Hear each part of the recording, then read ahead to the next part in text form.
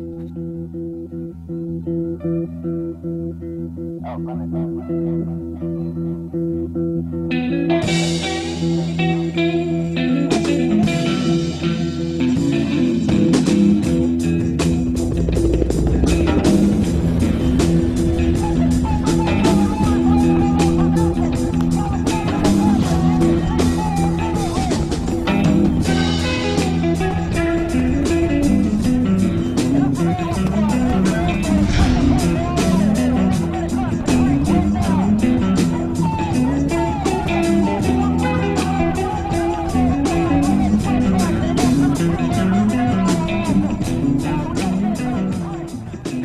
Ciao a tutti ragazzi, io sono Pera e oggi sono qui con eh, un altro episodio di Tattiche Militari. Quest'oggi prendiamo in considerazione la mappa Oltre la Senna, una mappa ambientata nel Parigino, quindi attorno al fiume Senna appunto, e sempre nella modalità corsa in attacco. Quindi, uh, come vedete, iniziamo sempre dalla prima zona, andiamo con ordine e um, purtroppo nella prima zona non c'è molto da parlare. Uh, sì, è una zona molto molto molto caotica, gli ambienti sono molto stretti ma d'altronde questo aspetto rimane più o meno per tutta la mappa a parte nell'ultima zona. Importantissimo sarà utilizzare al meglio il, il vostro LAV eh, quindi per supportare la vostra fanteria e cercare di colpire il nemico liberando le zone un po' dove mm, si ammassano le difese nemiche. Quindi liberare la zona dell'entrata e soprattutto la strada principale. Consiglio prima di andare a piazzare su A, cosa molto semplice perché il lab funge proprio da azione di sfondamento e mm, se copre bene e non si fa distruggere, ecco, riuscite benissimo a distruggere A con facilità e poi sarà abbastanza semplice andare su B. Ovviamente su, in molte partite non si riesce, ma insomma bisogna avere anche un po' di fortuna. Nella seconda zona, come vedete, abbiamo due ponti eh, che attraversano la Senna e eh, una carica è sul ponte di sinistra, mentre la carica B sarà posizionata su una barca io credo in affondamento, non lo so, eh, comunque è messa abbastanza male.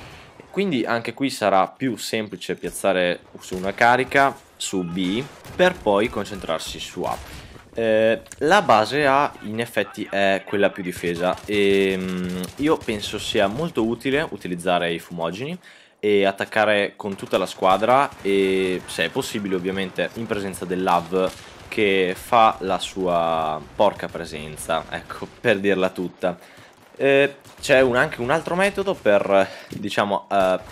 mettere in difficoltà i nemici, ovvero una volta piazzato B potremmo continuare uh, la nostra avanzata, quindi oltrepassare il fiume dalla parte di B, poi recarci uh, aggirando il nemico sul ponte di Alfa. Per quanto riguarda la terza zona c'è sempre una carica un po' più facile che è quella più vicina in questo caso eh, si tratta di Alfa e Bravo invece sarà appunto un eh, leggermente più distante e più difesa. Eh, sarà molto importante a parer mio conquistare la casa dove eh, mi vedete ora, quindi eh, la casa che ha un campo visivo eh, molto buono sulla base alfa e se qualcuno tenta vi di farvi il giro, quindi di prendervi da dietro, potete anche appunto avere una visione sul retro. E poi, stando sulla sinistra della zona a sinistra di Alfa, si potrà raggiungere comodamente dal dietro, quindi dal, dalla parte dello spawn dei nemici, la carica B attraversando la zona dove in teoria non si potrebbe stare, quindi dovete fare una corsetta per raggiungere i massi, le macerie della casa e poi potete appunto o entrare nel, subito nella casa di fronte alla base oppure mh, continuare e raggiungere questa casa dove mi trovo ora per avere un ottimo campo visivo sia sulla base Bravo e sia sulla zona circostante, quindi una volta piazzato A, da questa posizione sarà molto facile sia piazzare che difendere la posizione. Per quanto riguarda la quarta zona invece eh, penso sia quella un po' più importante e forse anche quella più difficile a volte, almeno per quello che riguarda la mia esperienza. E questo perché ci sono tantissimi modi ehm, nei quali la difesa può mostrarsi veramente ostica, principalmente per due motivi. Punto primo, eh, la zona di alfa è molto aperta poiché ci troviamo in eh, una piazza, quindi è molto facile per i nemici vedere ehm, se ci muoviamo verso alfa e quindi coprire anche la piazza. Punto secondo, eh, la zona di Bravo è inaccessibile al, all'AV che fa fatica anche solo a, a, a coprire la fanteria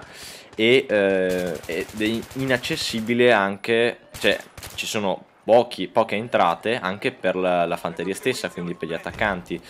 Ci troviamo quindi a, a dover sfondare la zona di B che è molto chiusa quindi i difensori si possono annidare e piazzare trappole ovunque e questo eh, bisogna farlo per forza o dalla parte frontale quindi dove ci sono i sacchi di sabbia che devo dire stranamente è la zona un po' meno controllata e i difensori tendono di più ad ammassarsi o sul vicoletto alla loro sinistra quindi dalla parte degli attaccanti tanto a destra ehm, dove appunto adesso sto accoltellando il nostro amico camper. Quindi se noi andiamo frontalmente difficilmente almeno mh, mm, insomma per la maggior parte dei casi tenderanno a non controllare troppo